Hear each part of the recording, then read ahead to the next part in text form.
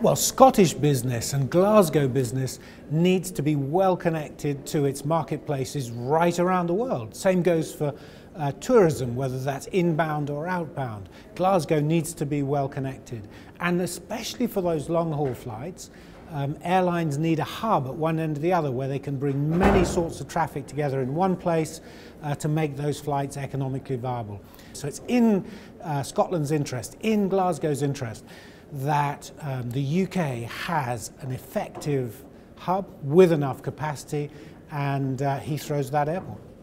Well, certainly from the for the Glasgow hotels industry uh, point of view, um, you know, connectivity with Heathrow is, is, is massively important um, in, in driving you know new revenue into the city, um, increasing uh, visitor numbers, um, which in turn, um, both from a leisure and from a, a business travel uh, point of view, will increase um, you know job prospects for you know the hospitality and hotel industry, as well as uh, general spend at uh, hotels in the city and uh, surrounding areas.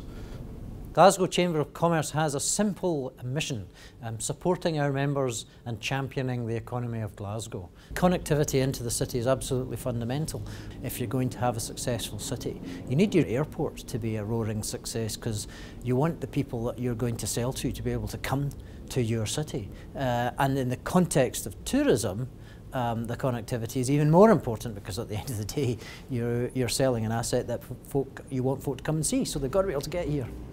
Heathrow is not one airport in London, Heathrow is the hub for the United Kingdom.